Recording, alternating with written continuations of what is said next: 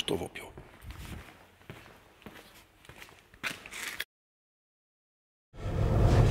Oh, hallo. Ja, het is even schrikken. Hallo lieve mensen. Het is even geleden, hè? Ik, ik moest het opzoeken. 7 april 2023 had ik de laatste upload.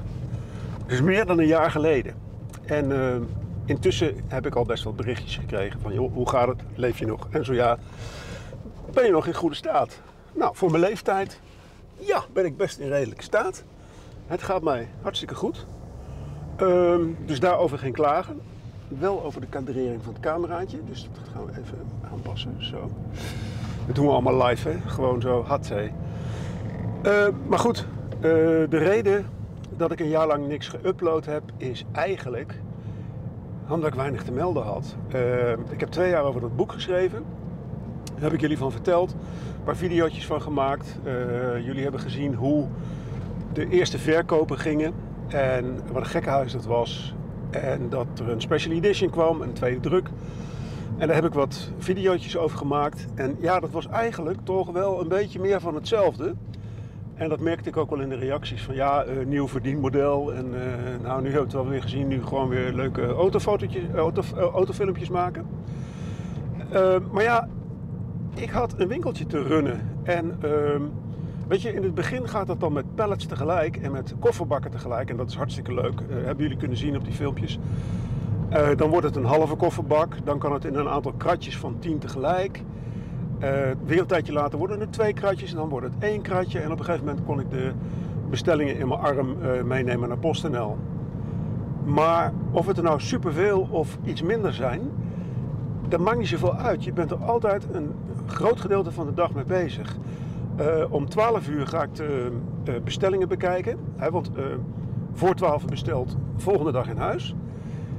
En dan ga ik pakbonnen printen. Eentje voor bij het boek en eentje voor in de administratie. En dan print ik de verzendlabels erbij. En dan ga ik naar beneden, ga ik inpakken. En dan hangt het er maar net vanaf wat er besteld is. Want uh, de gewone druk, zou ik maar zeggen, dat is gewoon een boekje in een doosje. hoe heet dat ding? pakbon erbij, doosje dicht, label eromheen, klaar. Maar de special edition, die maak ik op verzoek, zeg maar. Dus zodra er eentje besteld is, ga ik er een maken. En dat is meer werk, want dan heb je dus het boek, komt een handtekening in en een datum, komt stempel in, limited edition, krijgt hij een nummertje, addendum erbij, dat krijgt ook een nummertje. Uh, dan komt er een briefje bij, een boekenlegger, moet het addendum erin, dan moet ik de stofomslag vouwen, boek erin vouwen en dan pas kan het boek in het doosje met de pakbon erbij, doosje dicht, label erop. En daar ben ik dus een stuk langer mee bezig. Ik, volgens mij een paar minuten langer. Dus het hangt er maar net vanaf wat er besteld wordt, hoe lang ik ermee bezig ben die dag. Maar in ieder geval gaat uh, zo'n bestelling ergens tussen 2 en half 5 naar PostNL. Maar goed, uh, de middag ben je dus kwijt. En ja, alleen in de ochtend filmpjes maken en ook nog monteren, oh, dat is best lastig. En bovendien, ik had er ook geen zin in. Ik, mijn hoofd zat zo vol met dat rare boek. En het ja, je bent daar twee jaar mee bezig, dus dat is op zich ook wel te begrijpen. Maar goed, toen werd het dus wat minder met de bestellingen en had ik wat meer tijd om op te gaan ruimen.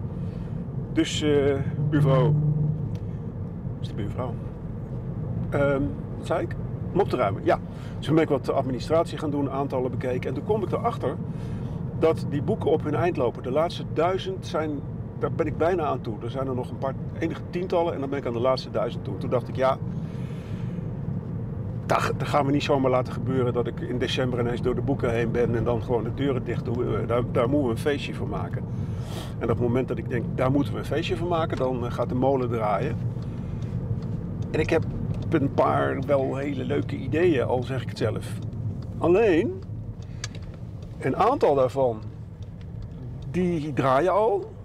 Maar een aantal daarvan, daar had ik nu al uitsluitsel over zullen hebben, maar dat heb ik nog niet. Dat hoop ik deze week wel te krijgen. Maar ik kon eigenlijk niet wachten met het maken van een filmpje, want ik vind dat altijd leuk, feestje bouwen. Um, dus, nu weten jullie uh, in ieder geval uh, waarom het zo lang geduurd heeft dat ik wat geüpload heb. Ik was gewoon winkeltje aan het spelen, verder niks. En het gaat hartstikke goed met me, want ik geniet daar ontzettend van.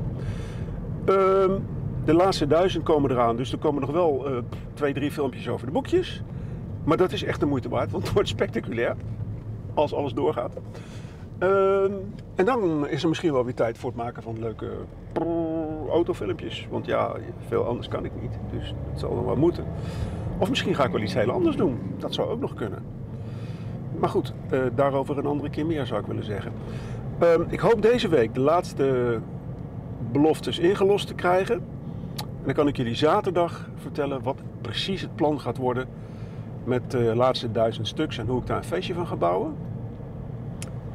Als het niet lukt, wordt het uiterlijk begin volgende week, maandag of dinsdag. En dan kan ik het complete plan even aan jullie ontvouwen. Dat doe ik eerst op YouTube. Uh, jullie hebben misschien gezien dat er op Twitter en Insta en Facebook ook wat postjes komen. Maar uh, ik ga weer zo'n actie doen waarbij de YouTube-kijkers als eerste aan de beurt komen. Dat is me goed bevallen en uh, ik heb jullie een beetje verwaarloosd. Dus uh, dat is ook een soort van payback.